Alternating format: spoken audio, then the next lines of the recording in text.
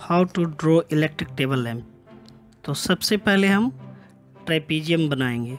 पहले बीच में एक गाइडलाइन लेते हैं, उसके बाद ट्रेपीजियम बनाएँगे बड़ा सा। और ट्रेपीजियम बनाने के बाद बीच में जो गाइडलाइन लिया है, उसको डबल करके रेक्टेंगल के रूप में बनाएँगे। और एक नीचे में एक और ट्रेपीजियम बनाएँगे। तो बेसिक शेप्स के थ्रू जो हम लोग इलेक्ट्रिक टेबल लैम्प बनाते हैं, बहुत ही आसान तरीके से बनता है। इसको गौर से देखें, पूरे वीडियो को, तब समझ में आएगा। नीचे भी एक ट्रेपिजियम ले लिए। इसके बाद गाइडलाइन के थ्रू ही सारा ड्राइंग कंप्लीट होगा। इसको फिनिश किए। अब जो ऊपर में जो बड़ा सा ट्रेपिजियम लिए हैं, उसमें दोनों साइड से इक्वल कर्व लाइन खींचेंगे, नीचे की तरफ़, इसको कॉर्नर में मिलाएँगे।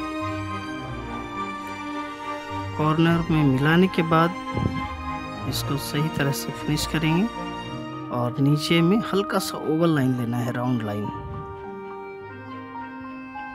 और बीच में इसको डिवाइड करके कर्व लाइन पैरेलल खींचेंगे।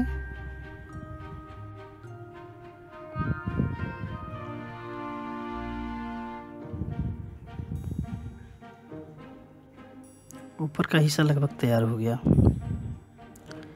बीच में जो गाइडलाइन लिया है, उसमें डिज़ाइन करेंगे। दोनों साइड पैरेलल इक्वल जाएगा एकदम। दोनों साइड बराबर बराबर हिस्सा में इसको डिवाइड करके और डिज़ाइन करते जाएँगे।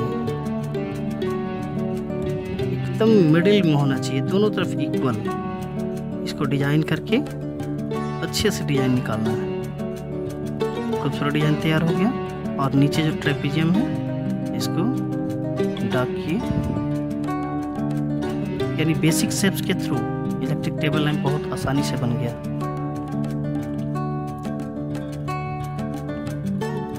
दैट्स कंप्लीट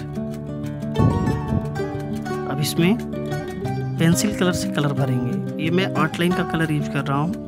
पहले इसमें लेमन येलो पूरे में फिल करता हूँ वन डायरेक्शन में। अप टू डाउन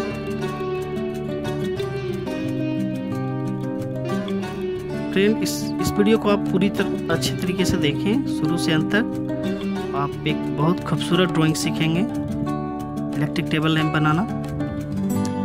और इस चैनल में बहुत सारे और भी ड्राइंग हैं जो आप देख सकते हो। इसके बाद में, और ये लिया हूँ orange light colour one direction में इसको चलाना है। ऑरेंज का तीन टोन इस पर मैं चलाऊँगा। Light medium and dark yellow के बाद ऑरेंज का थ्री टोन आर्ट लाइन में आपको कलर मिल जाएगा। आर्ट लाइन का वाटर कलर यूज़ कर रहा हूँ water colour pencil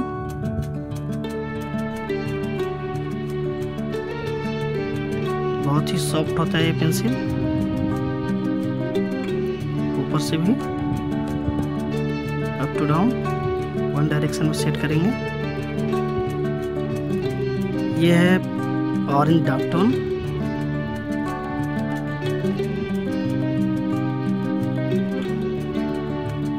one direction में इसको सेट करेंगे। बहुत ही खूबसूरत इफ़ेक्ट निकलता है।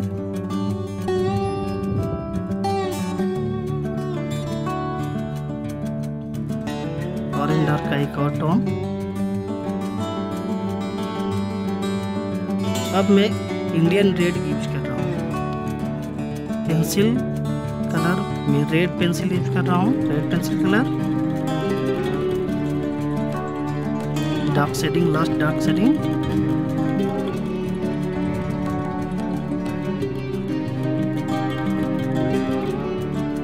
line वगैरह इसी से फिनिश करता हूँ। Red colour pencil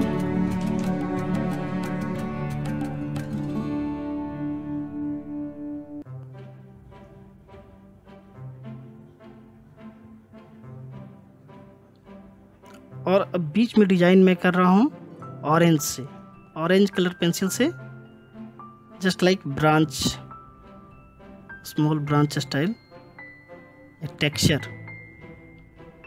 cloth texture जो बहुत ही इफ़ेक्टिव और बहुत शानदार दिखता है।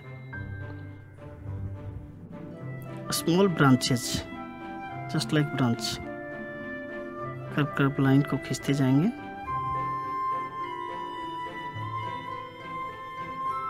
Orange colour pencil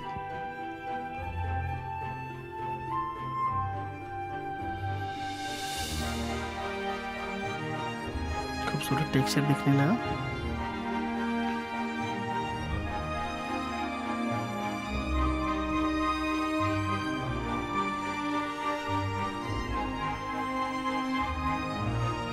red colour से फिनिश किया। लास्ट टोन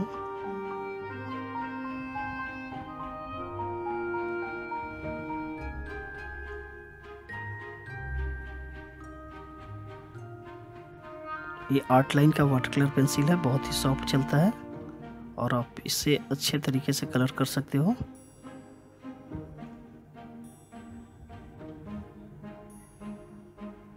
आपको बहुत ही मज़ा आएगा इसको बनाने में, क्योंकि ये बहुत सॉफ्ट चलता है। इसमें पहले मैंने लेमन येलो भरा।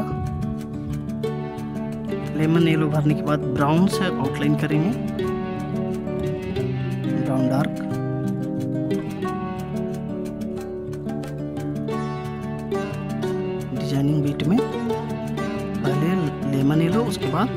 डार्क ब्राउन से आउटलाइन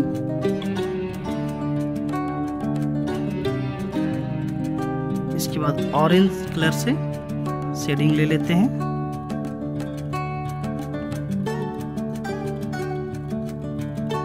डार्क ऑरेंज इसके बाद रेड सारे लाइन को फिनिश करेंगे रेड कलर से और हल्का हल्का रेड से भी शेडिंग कर देंगे ताकि वो थ्री इफ़ेक्ट दिखे इसमें।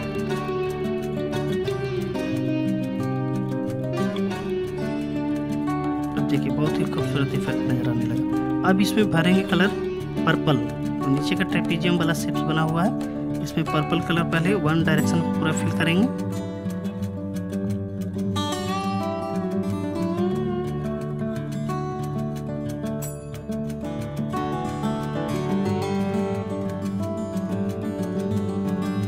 पर्पल कलर भरने के बाद नीचे में डार्क ब्लू और इसको ब्लैक कलर पेंसिल से शेड करके डार्क कर देंगे।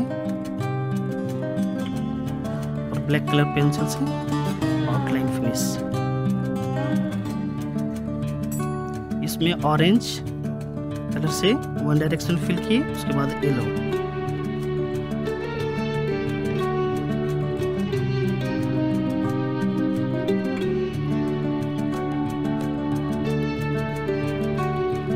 ब्लैक स्टेडलर पेंसिल से फिनिशिंग आउटलाइन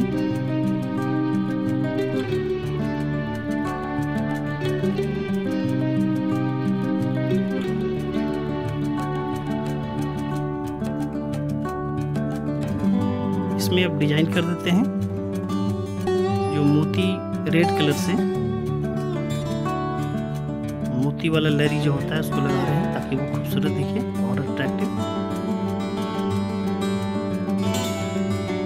पेंसिल से उसमें धागा लगा दिए। तो देख लें।